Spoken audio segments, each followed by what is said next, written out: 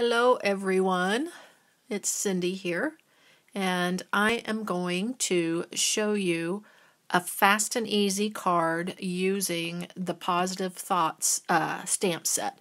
So let me make sure that I have my comments on and go ahead and tell me hello uh, when uh, you check in and I will try to respond to everybody. Uh, the Positive stamp or the positive thought stamp set. It comes with eight stamps and they're red rubber all right? And today I'm going to use this one here okay? And I'm going to put that on my block here real fast.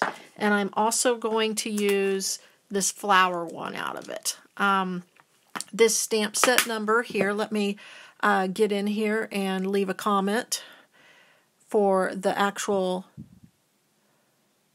place where you can order that. Um, I also have a March Hostess code this month. Here, let me get that in there. So if you want to be included in special offers this month, my Hostess code for March is QWUV93ZV, and you can join in and, and get a few little extra thingies here. So I'm going to, I have my stamps mounted up. And then right now I have my cardstock pre-cut here. All right, and my cardstock that I'm using is a petal pink for my card base. All right. So it's just your standard five and a half by eight and a half card base. Hi Jana, how are you today? And I'm going to use my bone folder. I'm doing a really simple card today, Jana. I'm trying to get everything. And this is the suede color, all right? And I'm going to layer it. Well, actually, I'm not going to layer it. All right, so this is your regular card base, which is five and a half by eight and a half. This layer here of the suede um, is four by five and a quarter I have another layer here of the petal pink, which is three and three fourths by five. And then I have a whisper white here. Okay, and that is uh, three, uh, three and a half, I believe. Hold on, let me check. Yeah, three and a half by four and three quarters. And that's what I'm actually going to be stamping on today. Hi Sylvia, how are you doing today? So what I'm going to start with is I am going to be starting with these leaves here, all right? And they really lend themselves to be stamped in muted colors, in my opinion. So I have my crumb cake. All right, so I'm going to ink up and my crumb cake is fairly new, so it's going to be darker than it might be if I had um, had it for a while. And I'm going to stamp it here, oh, up a little ways on my Whisper White. Okay, and you see it's a little darker than yours might be if you haven't re-inked your ink pad lately. All right, and then I'm going to rotate my stamp here, and I'm going to cluster it down here, just like that. And what I'm liking about this combination is you can use this card for almost any occasion. All right, so I kind of did a triangle here. All right, and then what I'm going to be doing is I'm going to take my petal pink here and I'm going to be using the flower image here.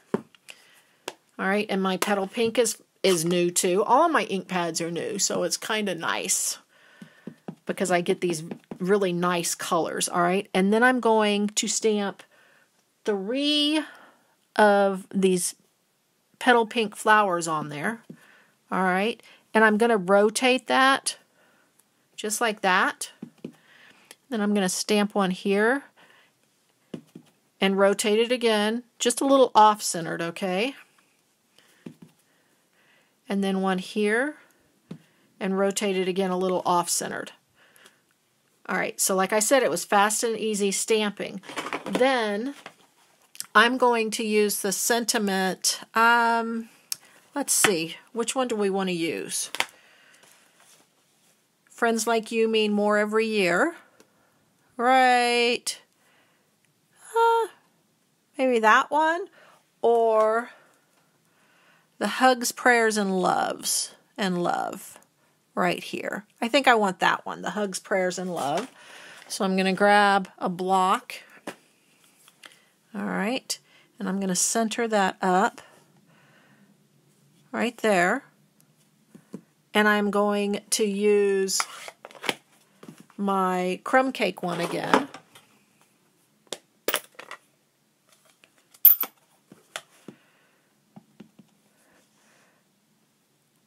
And I hope I get it straight on there. Oh, yeah. All right, so there's my crumb cake. All right, and now all I have to do is layer it on here. All right.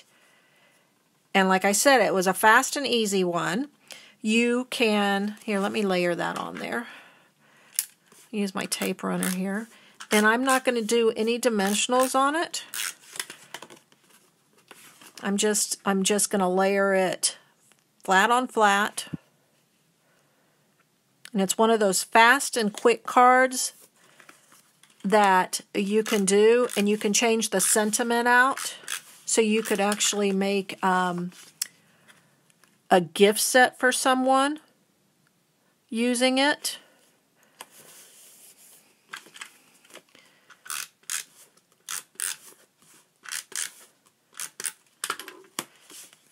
There we go. And then what I'm going to do is I'm going to use my Wink of Stella. All right.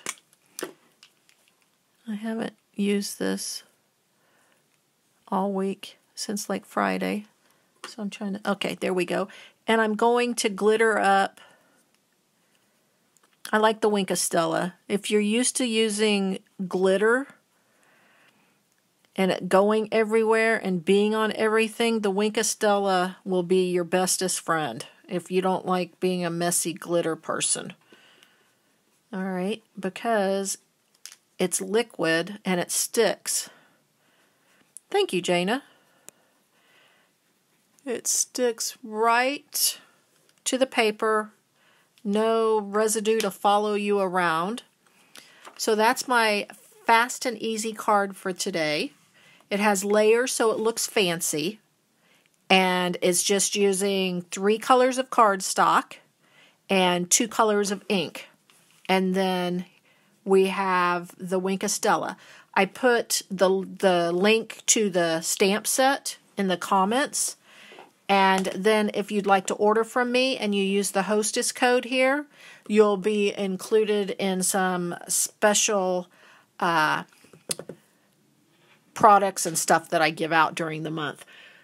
I also want to remind everybody that the paper pumpkin kit for March um, you have to order it by March 11th, but there's actually two stamp sets in this month's one. Um, and I have, if you're a Paper Pumpkin subscriber, I have a PDF that you will get for extra ideas.